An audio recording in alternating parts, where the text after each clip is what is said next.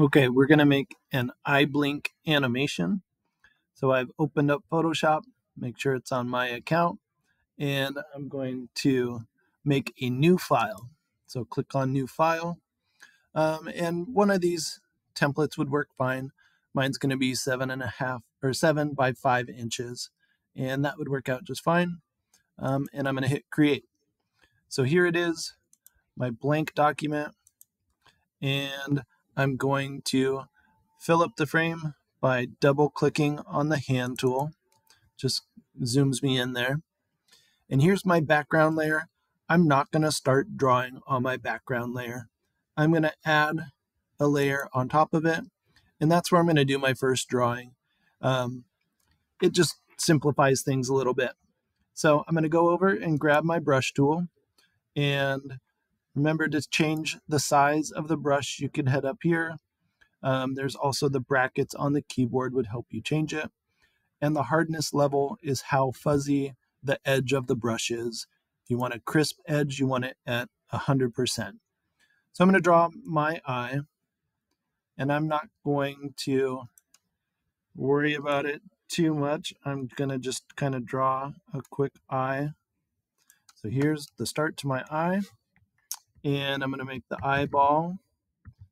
And you don't have to use a perfect circle. You can just draw it in there. At this point, we're not worrying too much about what our eye looks like and adding details and that kind of thing. So we're going to add the next layer and it does help to name your layers. So I'm going to double click on here and I'm going to call this open eye. Then I'll know and I can reference that and it'll help me keep track. So I have open eye.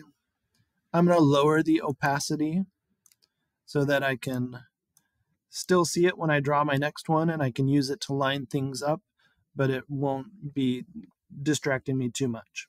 So I'm going to add one more layer. This layer is going to be the eye that's halfway closed. So I'm going to call it half. There it is. Grab my brush tool and I'm going to draw the eye when it is halfway closed. Draw it real quick.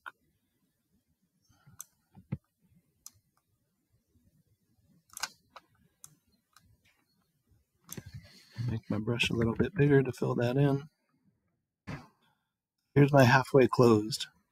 Next, I'm going to add another layer. Oh, I should, I should make that lower the opacity. So I have to select the layer again. Then I'm going to go and lower my opacity. And then I'm going to go back to the other layer. And this is going to be the closed eye. And I'm going to end up making five total layers, but I'm going to start with these three keyframes because it's easiest to go back and fill in the in-betweens a little bit later. So I have my closed eye, I got my brush, change the size of it real quick, and my closed eye. Gonna look something like this. And I can lower the opacity on this layer to move on to my next one as well. And I'm to go in and add one that's three quarters of the way closed. So when I made a new layer, it put it up here. I'm going to drag that down because I want it in between here. And I am going to label it that it's three quarter open. I can hide these other ones if I wanted to. If it makes it easier, go ahead and do that. So three quarter open, kind of in between my wide open and my halfway one. go. Bump up my brush size. Try to line it up with the other layers and fill it in. Lowering the opacity before I head on to the next layer. And I'm going to do one more layer, and this is going to be a quarter open. I'll rename it here. One quarter. And I'm ready to draw it in. If these other ones are distracting, like I said, you can turn them off. And then on my one quarter, I will draw my eye again. a little bit more closed.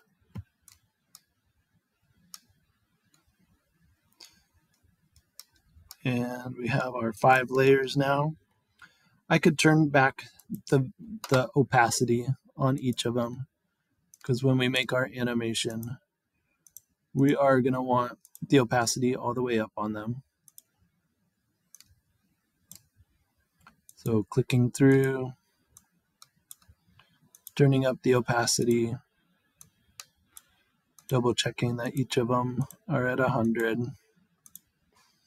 Okay, so it looks kind of crazy right now, but we're going to head up to Window, and we want to go down to Timeline.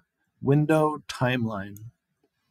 Brings this new window open, and down here, yours might say Create Video Timeline. You want to create a frame animation. Then you do actually have to click that button. So you click it, we have the start of it right here. And then in this menu area here, when I click on that, I can make frames from layers. So I'll click on there. And here's all my frames making, um, all the layers were making different frames.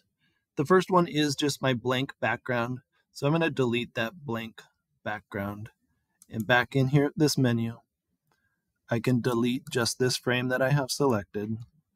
It'll ask me, am I sure about that? Yes, I am.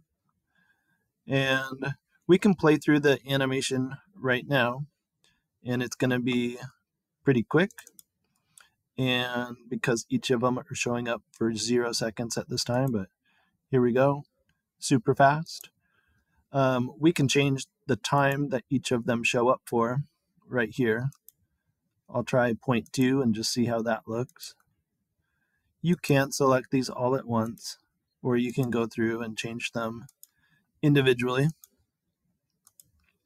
We can play it again, a little bit slower of a blink, and you can adjust things, so we'll stop it. If we want to add the back, the white background on this frame, I can turn the background on as well. On frame two, if I want the background to show up, I can just turn on the visibility in the layer. And I'll do that for all of them